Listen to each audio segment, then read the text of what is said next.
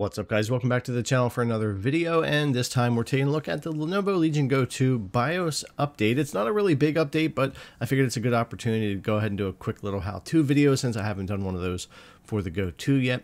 More importantly really for me though, there's been a GPU driver update over the past week or so pushed by Microsoft for a newer driver before Lenovo has, so we'll take a quick look at that first as well. So like I mentioned, we did get a GPU driver update among some other updates, um, AMD stuff and things for the Go 2 that have been popping up. But more importantly, a GPU driver update, which does bring us to about a two week newer version, a little bit better version of a graphics driver for the Legion Go 2. It does seem to solve the Battlefield 6 crashing, which we were using some MSI Claw drivers for before and stuff like that. And uh, it just overall does seem a bit better. Kind of surprising coming from Microsoft before Lenovo. Usually we don't get our updates through Windows Update for that. And typically it's a rollback or breaks it, but not in this case. Actually is a better GPU driver for us there. Now, as far as the BIOS that Lenovo pushed out, that's going to bring us up to version 13. Currently, if you go into Legion Space, go to your settings, your disk and drives, and check for updates, you can see any of your uh, BIOS version or recently installed updates. For me, you can see I'm on the 12WW, which I installed not long ago from them. So we're going to go ahead and update to the 13WW version here, and I'll show you how to do that. I'm going to use the quick access menu to go to online support, which is a pretty quick and easy way to jump over to the website. If you've done this before, you'll already have Lenovo Service Bridge installed, which will help you detect the process or the product. And if you don't have it already installed, you'll be able to select, agree, and get um, the Service Bridge installed. So what will happen here is if it fails out, you can click the little here to download, get the uh, Service Bridge downloaded, click the file to open, and that will make it to where the website can um, actually search, verify the product, do automatic updates if you want to, and things like that here with Lenovo. So once that's detected, which is just one of many ways to jump over to this site, but I figured I would show it that way. We can go to our drivers and software here. I'm going to go to manual update where I can see everything here that's available. And then we're going to have our BIOS section, which is going to be where we grab our BIOS version from.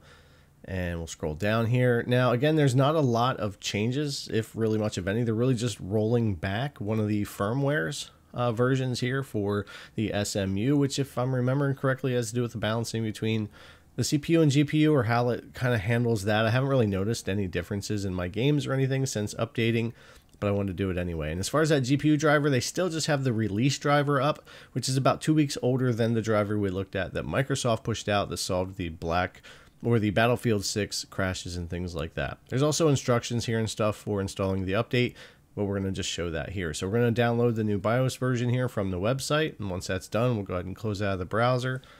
I'm going to go over to the downloads folder here.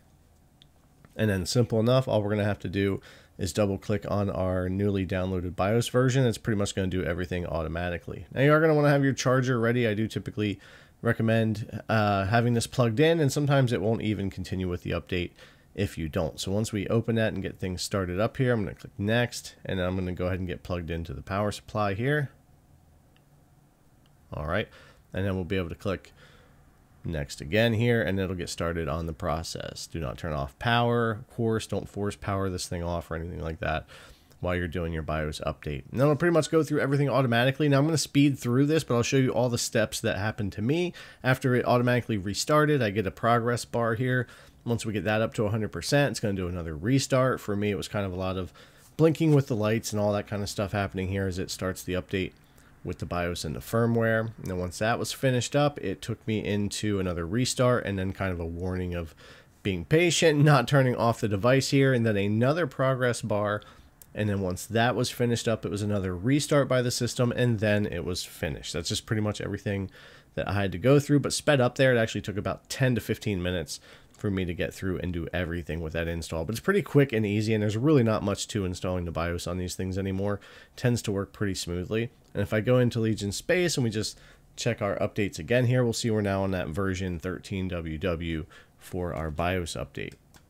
That update combined with the GPU driver update that we got from Microsoft there, everything seems to be running good on the Go 2. And again, the only place that I've noticed the biggest difference is Battlefield 6, where I was having some crashes in this mission before, and I really haven't had any of that since the GPU driver update. Haven't noticed any real difference in clocks or the way it's dealing with things since I installed the new BIOS version, but I do like to stay updated, and it was a good opportunity to show installing that here for you guys that haven't done it be before, don't know how that works. But also check your updates in Windows if you haven't got that GPU driver and check for that as well. And I recommend installing that, even though I wouldn't always recommend that from Windows updates. It seems that they're ahead of Lenovo on this one. All right, guys, as always, thanks a lot for coming to watch. I really appreciate it, and I'll see you in the next one.